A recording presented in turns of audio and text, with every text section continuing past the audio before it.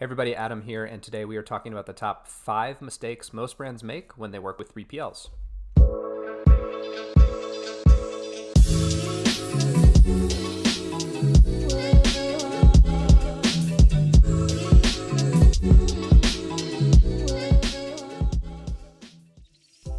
This video was made with the help of our friends at Ocelot Logistics. So Ocelot's a food and beverage friendly 3PL, and we'll put their contact info down in the show notes. The first mistake we see most often is around shipping costs. So outbound shipping costs are going to make up anywhere between 60 and 75% of your overall fees with a 3PL. So it's really, really important that you focus there and that you spend most of your time operationalizing and optimizing around those costs because things like receiving fees and storage fees just pale in comparison to your outbound shipping fees.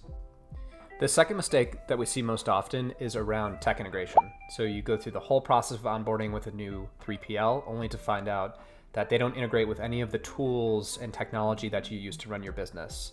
And that means that you'll end up doing a lot of manual entry, a lot of stuff will slip through the cracks, and it just won't be good for anyone. So it's really, really important that before you sign an agreement, you make sure that the tools that you use integrate seamlessly in with your 3PL.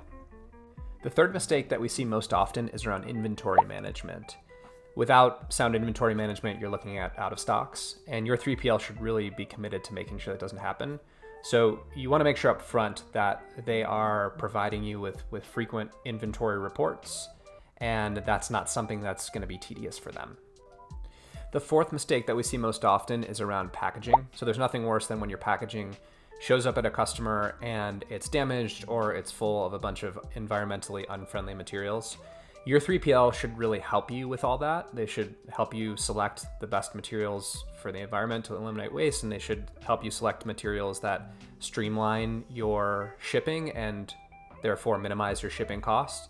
So they shouldn't just pick and pack your product, they should also help you select the packaging that that, that product is being shipped in. The fifth mistake that we see most often is around specialization.